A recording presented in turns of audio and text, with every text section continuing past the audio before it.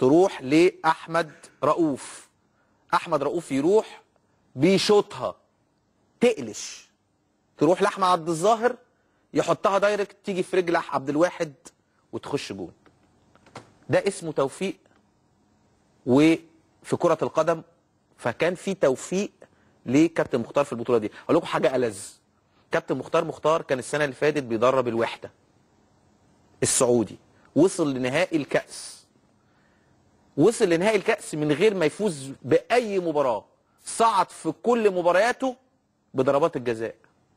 ووصل للمباراة النهائية ضد الهلال اتغلب 5-0 وكان أحمد علي أحرز أحد الأهداف في المباراة النهائية.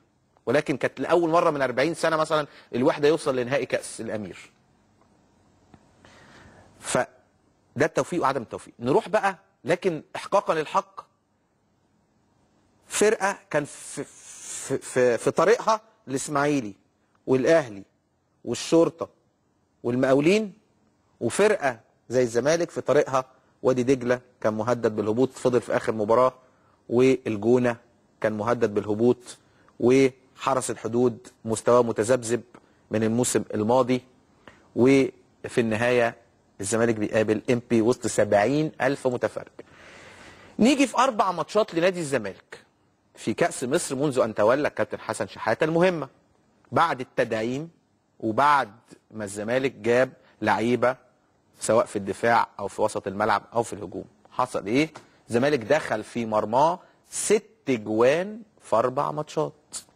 ست أهداف في أربع ماتشات. ودائما كان قاب قوسين أو أدنى من الخروج. عشان نتكلم منطقيين نتكلم وادي دجلة لم يبقى إلا 20 دقيقة والزمالك خسران 1-0 ثم الجونة يتقدم على الزمالك في الشوط الأول 2-0 ثم يعود. ثم حرس الحدود. يتقدم ثم يتعادل الحرس. ويضيع إحدى الفرص الخطيرة. كان من الممكن جدا أن يتقدم. ثم يعود عن طريق عمرو زكي خطأ من علي فرج. ثم يتقدم في ماتش إمبي. ثم يتعادل ويفوز نادي إمبي نيجي للتغييرات. عشان نكون منطقيين ونتكلم بحق ربنا. تغييرات كابتن مختار مختار مجبر أخاك على التغييرات زي ما بيقولوا. عبد الظاهر الصليبي عمرو فهيم مزق. وفي النهاية آه، لازم لابد من تغيير الاثنين فبالتالي مش بإيده. غير سردباكين ونزل سردباكين تانيين. الناحية الثانية كابتن آه، حسن شحاته كرة القدم يا جماعة هي هزيمة أو فوز. عند الفوز يقال على المدرب أنه عالمي في تغييراته. وترى أكثر من تحليل. جهابذة التحليل هيحللوا لك أنه هو عالمي. ولو خسر جهابذة التحليل هيقولوا لك أنه هو خلص على الفرقة. بس تعال نتكلم منطقيا. الآراء تختلف. في بعض الأشياء اللي ممكن أتكلم فيها مع الكابتن حسن شحاتة. تعال نتكلم على التغيير الأولاني. حازم إمام مكان عمر جابر. عندما أتى الكابتن حسن شحاتة إلى نادي الزمالك قرر إن عمر جابر لا يصلح لل back right. ولعبوا كل ماتشات النمسا defender. ولعبوا كل الماتشات الودية defender. ولعبوا مباراة الحرس defender. ولعب ماتش المنتخب الأولمبي defender. ثم تم تغييره ك back right في المباراة الأخيرة مكان حازم إمام الذي لم يكن موفقا. ولكن النهاية عمل جون عمرو زكي.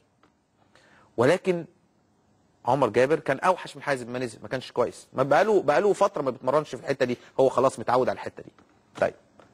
ناس تقول لك كان من المفترض إن عمر جابر ينزل مكان أحمد حسن. أحمد حسن لعيب كبير وعمل ماتشات كويسة منذ أن انتقل للنادي الزمالك. ولكن امبارح لم يكن موفقا. أحمد حسن كنت حاسس إن هو عايز يجيب جول. كل تركيزه إنه يحرز هدف. والنواحي الدفاعيه عنده يعني مش قوية قوي بجانب إن شيكابالا في الماتشات المصيرية يختفي. وأنا قلت لكم من السنة اللي فاتت إن حسين ياسر هو أفضل لاعب في نادي الزمالك في المباريات الثقيله الزمالك بيلعب الأهلي تلاقي حسين ياسر. شيكابالا اتمسك حسام عاشور مش موجود شيكابالا حسين ياسر موجود. شيكابالا في ماتشات مصريه مش موجود. بيختفي. ماتش الافريقي التونسي هنا بيختفي ماتش المصريه للدوري بيختفي. في نهاية الدوري. وماتش امبارح بيختفي شيكابالا. فأحمد جعفر مش موجود فرص ضائعة في الماتشات اللي قبل كده كان مميز جدا. طيب كان من المفترض أحمد حسن يطلع وعمر جابر ينزل وكابتن حسن يعمل جبهة حازم إمام وعمر جابر ناحية اليمين. كانت فندر ويأمن نص الملعب ويدي الحرية لشيكابالا. وأحمد جعفر وعمرو زكي إن هم يدافعوا يهاجموا وما يدافعوش. دي كانت وجهة نظر. طيب علاء علي. علاء علي لم يلعب مع نادي الزمالك في كأس مصر ولم يعتمد عليه بل بالعكس كنا بنسمع إن علاء علي هيتحط فوق البيعة لو عبد الله سعيد جه. مش عيب إن هجيب عبد الله سعيد أفضل من علاء فعلاء يروح إعارة ويرجع. ولكن علاء علي في وجود محمد إبراهيم اللي طلع بره ال 18 علاء علي في وجود رزاق اللي عمل ماتش ودي وجاب جونين في الشمس وحطيته وطلعت أحمد حسام ميدو. طب لا الا أحط عبد الرزاق وعبد الرزاق مش عايز أحرقه يبقى ما احطوش يبقى أحط محمد إبراهيم. بلاش رزاق دلوقتي خالص يبتدي الدوري. زي ما أحمد حسام ميدو مش جاهز يبتدي الدوري. ولكن طالما وضعت رزاق هو لاعب محترف ولاعب مهم وأحرز أهداف في السويد وفي الماتش الودي ظهر بمستوى كويس يبقى لابد أن أستفيد منه. ولكن علاء علي نزل. اللي أنا عارف وجهة نظر كابتن حسن شحاتة ممكن تكون دي. علاء علي جاب خمس تجوان في الخمس في الأربع ماتشات أو أربع تجوان في الأربع ماتشات الوديين بيشوط من بره ال 18 وجهة نظر كابتن حسن قال لك لو علاء نزل في الحتة دي وفي الوقت ده يشوط شوطين ثلاثة يجيب جون. دي وجهة نظر. ولم تتحقق. حسين حمدي بقى له فترة عايز وقت عشان يتأقلم.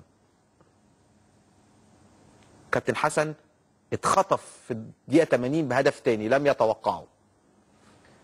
الزمالك لما تقدم هل كان من المفترض إنه يقفل ويلعب زون؟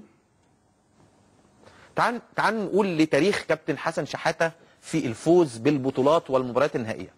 عندما يلعب كابتن حسن شحاتة أمام فريق أكبر منه يتألق. لو لعب بفريق بيدافع يخسر. إزاي؟ ساحل عاج بيهاجمك. تكسبه 4 1 كاميرون بتهاجمك تكسبها. كاميرون بتهاجمك تكسبها. أنجولا توازن. يجي فيك جون وع... غانا بتهاجمك تكسبها. برازيل بتهاجمك وبتقفل تكسبها. إيطاليا بتهاجمك تكسبها. المقاولين والأهلي في نهائي كأس مصر ما كان كابتن حسن ماسك. بتقفل. الأهلي بيهاجمك تكسبه. الزمالك في السوبر. الزمالك بيهاجم مساحات. تكسبه. لكن تعالى نيجر ليبيريا جزائر ماتشات بتخسرها. إما إما فريق بيدافعك. تعال نشوف الماتشات التانية الجونة الحرس. ربنا ستر مع الزمالك في المباريات دي.